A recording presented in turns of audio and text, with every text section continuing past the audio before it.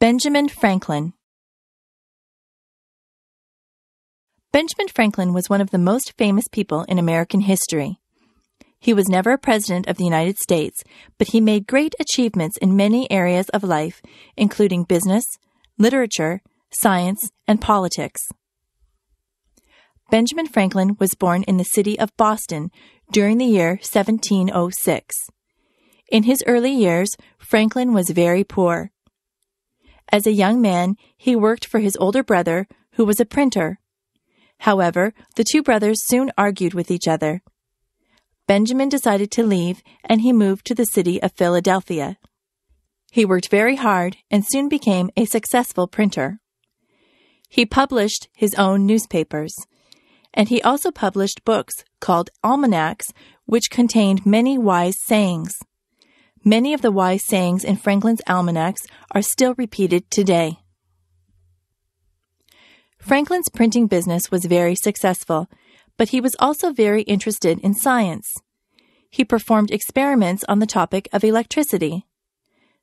Some of these experiments were very dangerous. In one experiment, Franklin was almost killed when he went outside during a lightning storm and flew a kite that had a metal key attached. However, Franklin was lucky enough to avoid injury and he learned new facts about electricity. In addition to scientific research, Franklin was also an inventor. He invented a new kind of eyeglasses called bifocals.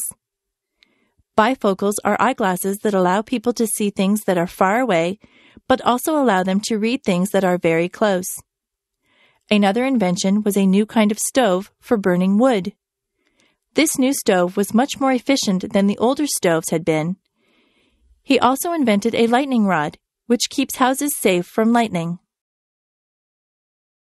Franklin was also interested in making his city a better place to live. He started a public library and he helped to organize a hospital and a fire department. In addition, he supervised the postal service, which operated profitably under his command. In his later years, Franklin became heavily involved in politics. For most of Franklin's life, the United States was not yet a country. Instead, the United States were still colonies of England, but Franklin encouraged other Americans to become an independent country.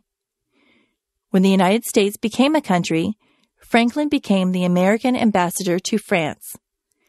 The French people liked Franklin very much. Franklin later returned to the United States and he died in 1790. Today, many Americans still admire the brilliant achievements of Benjamin Franklin, who did so much to improve people's lives. The picture of Benjamin Franklin can be seen on the American $100 bill.